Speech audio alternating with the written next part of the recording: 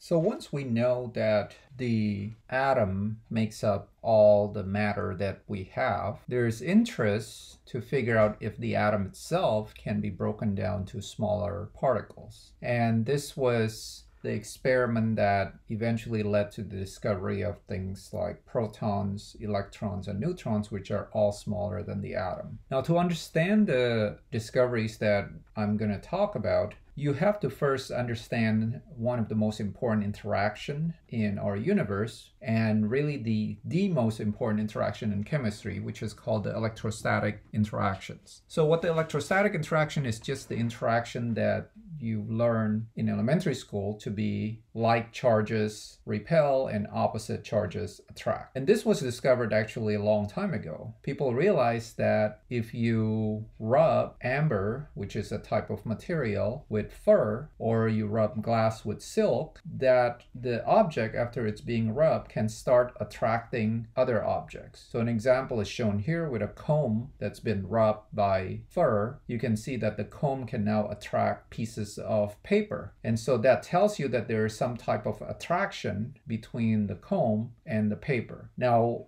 you can see that happen in a lot of other examples. Static electricity, if your hair starts to stand in dry weather. All of those are examples of electrostatic interaction. It was explained later on that all objects display a property called an electric charge. An electric charge can be either positive or negative. And then what people learn is positive and negative charges attract each other. So this is symbolized by these two attraction right here. And then positive and positive and negative negative repel each other. There's an equation that we'll learn later called Coulomb's law that allows us to calculate the strength of this attraction and repulsion. I'm going to emphasize this right now because this interaction is the interaction that determines all the things that happen in chemistry, whether it's chemical reaction or formation of the atom or formation of molecules, compounds, and so on. Let's talk a little bit about how the other subatomic particles are discovered. So the first subatomic particle to be discovered was the electron. This was discovered uh, by a person named J.J. Thomson, and he was studying something called a cathode ray at the time. So a cathode ray was this little green light. It's a type of radiation or light that's emitted when you connect this tube to an electrical source. And the ray always comes out from one side of the tube that is called the cathode. And that's why this ray is called the cathode ray.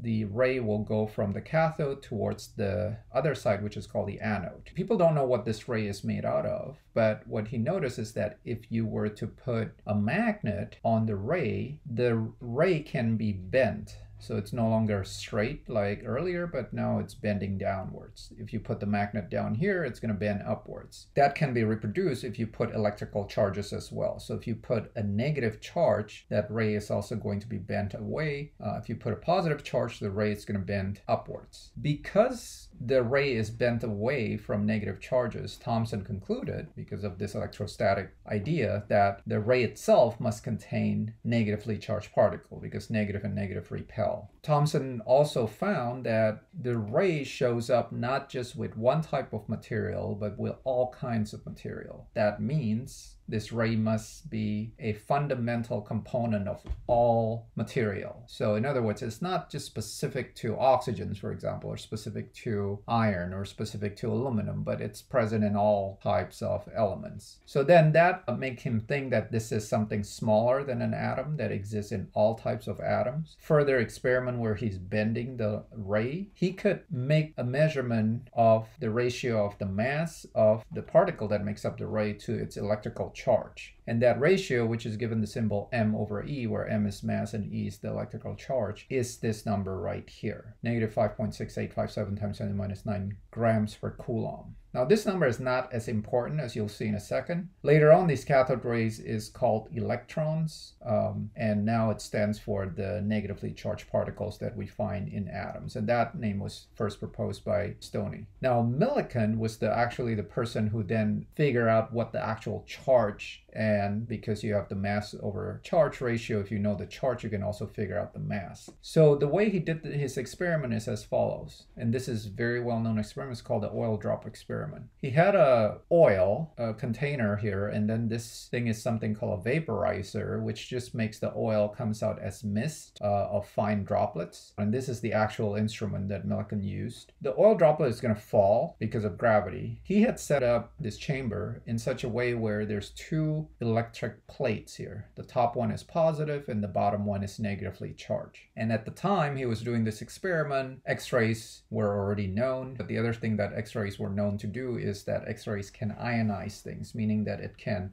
make electron jump from uh, air to something else. So as these droplets are falling down, due to gravity, he shine his X-rays, and what happens when the X-rays are shine is that the electrons in air is going to jump onto the droplet itself. Once the electrons jump to the droplet, now the droplets are negatively charged that point, he turns on the electric plates because this plate is negatively charged. The negatively charged droplets is now repelled by this plate. Now, you can adjust the electric field here in such a way that the droplet is exactly balanced midway between gravity pulling it down and repulsion by the electrostatic charge right here. And by doing that with a number of these droplets, he was able to figure out exactly what the charge on the electron is, and that number is negative 1.6 times 10 to the minus 19 coulomb. Coulomb is a unit of charge. The negative here is to indicate that uh, electron is a negatively charged particle. Now, once you have this number, which is your E, your charge, you can combine that with the mass to charge ratio to calculate the mass of the electron, which is a very tiny number. It's 9.1 times 10 to the minus 28 grams, or sometimes you'll see this written as negative 31, but the unit would be kilogram. So once Millikan found this, then Thomson, you know, tried to figure out,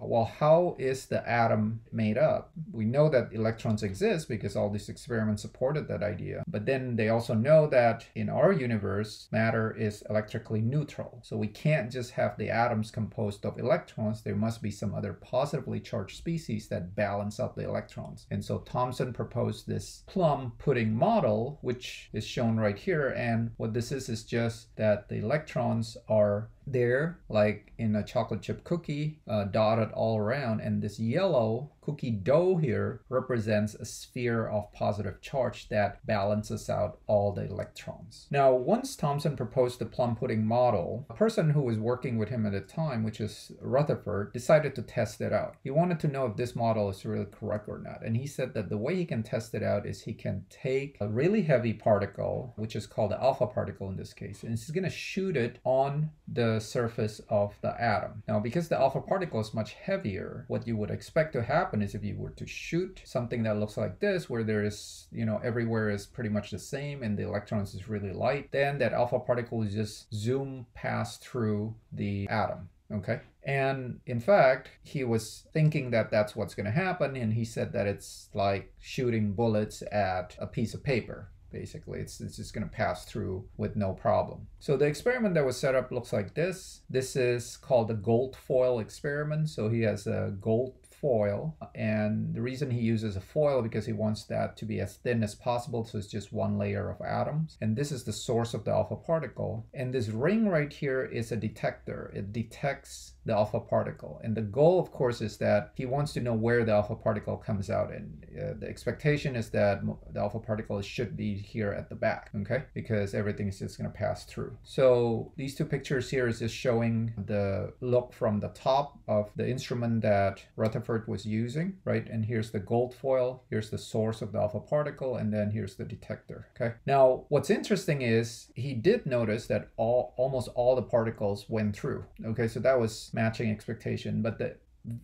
the thing that's interesting is that not all of them do. So there's a small percentage of the alpha particle, as you can see in this drawing, that actually get reflected back. So you shoot it like this and then it shoots back here. Now, it's not a lot. It's actually very little. And, in, in fact, it's about one out of every 20,000 of these alpha particles that have that behavior. But there's enough of them to be interesting. If you think about it, there must be something that's really hard that's able to block the alpha particle in the atom, right? And so that's what led Rutherford to propose something called the nuclear atom model. The nuclear atom model looks like this. It's basically an atom is composed of electrons that's kind of moving around a nucleus, where the nucleus is where all those positive charges are concentrated in. Because earlier in the plum pudding model, the positive charges is kind of spread around and mixed in with the electron. Here, the positive charges is all concentrated in that core that's called the nucleus. Later on, Rutherford himself discovered these positively charged particles and he called them protons. And a student who was working with him at the time, James Chadwick, discovered that there was another set of particles that are packed in with the proton in the nucleus of the atom, and that's called the neutron. So this table here summarizes the properties of all these three fundamental subatomic particles, right? Proton, neutron, and electron. So the electron, as we just said earlier, has a negative charge. The value of the charge is negative 1.6 times 10 to the minus 19 coulomb. The proton has exactly the same charge, but with the opposite sign, so a positive charge. The neutron has no charge, so it's zero. Now, a lot of times people don't want to use these numbers because that's kind of hard to remember, 1.6 times 10 to the minus 19. So instead, we just say the charge on the electron is minus 1, and the charge of the proton is exactly plus 1, balances out, okay? The opposite of the electron. Now again, these are just kind of reference values that we use, right, to make things a little easier to remember. So if I have something that has a plus 10 charge, then I know it has 10 protons in it. If something has a negative 5 charge, then it has 5 electrons in it. This makes it a little easier to understand how many protons and electrons are around. What about the masses of these subatomic particles? Well, we already know the mass of the electron. is very tiny, 9.1 times 10 to minus 28. The masses of both the neutrons and